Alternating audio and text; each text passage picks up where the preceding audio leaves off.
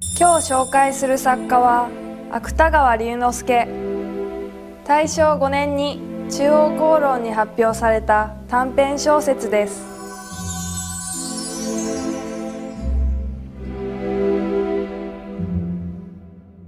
芥川龍之介判決。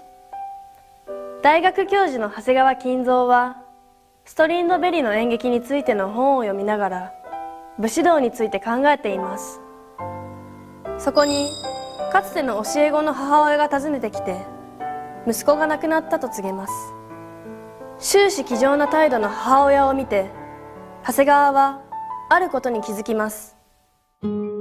先生は夫人の手が激しく震えているのに気がついた。震えながらそれが感情の激動を強いて抑えようとするせいか。膝の上のハンケチを両手で裂かないばかりに固く握っているのに気がついた。そうして最後にしわくちゃになった絹のハンケチがしなやかな指の間でさながら微風にでも吹かれているように縫い取りのある縁を動かしているのに気がついた。夫人は顔でこそ笑っていたが実はさっきから全身で泣いていたのである。それから2時間の後である。先生は湯に入って晩飯を済ませて食後のさくらんぼをつまんでそれからまた楽々とベランダの遠椅子に腰を下ろした。例のストリントベルクも手には取ってみたもののまだ1ページも読まないらしい。それもそのはずである。先生の頭の中は西山敦子夫人のけなげな振る舞いでいまだにいっぱいになっていた。先生は飯を食いながら奥さんにその一部始終を話して聞かせた。そうしてそれを日本の女の武士道だと称賛した。日本と日本人とを愛する奥さんがこの話を聞いて同情しないはずはない。先生は奥さんに熱心な聞き手を見いだしたことを満足に思った。先生は今まで観客されていた本に気がついてさっき入れておいた名刺を印に読みかけたページを開いてみた。ストリントベルクは言う。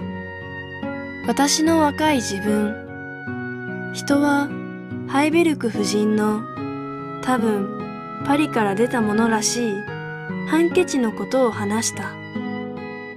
それは顔は微笑していながら手はハンケチを二つに裂くという二重の演技であった。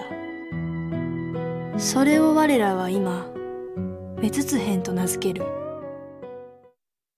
暑いけどまあでもその朝からやってる人に比べればね。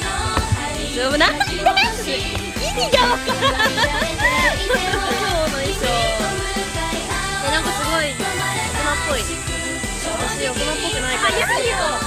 う一面が見れるんじゃないかな。今日紹介する作家は芥川龍之介。大正5年に中央公論に発表された短編小説です。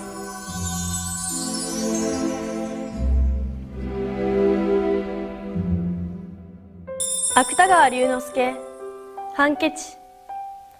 大学教授の長谷川金蔵はストリンドベリの演劇についての本を読みながら武士道について考えています。そこにかつての教え子の母親が訪ねてきて息子が亡くなったと告げます。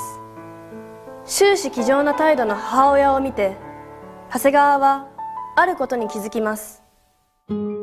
先生は夫人の手が激しく震えているのに気がついた。震えながらそれが感情の激動を強いて抑えようとするせいか膝の上のハンケチを両手で裂かないばかりに固く握っているのに気がついた。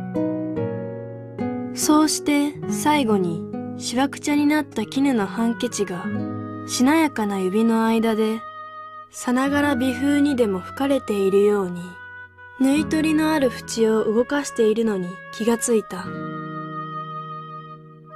夫人は顔でこそ笑っていたが、実はさっきから全身で泣いていたのである。それから2時間の後である。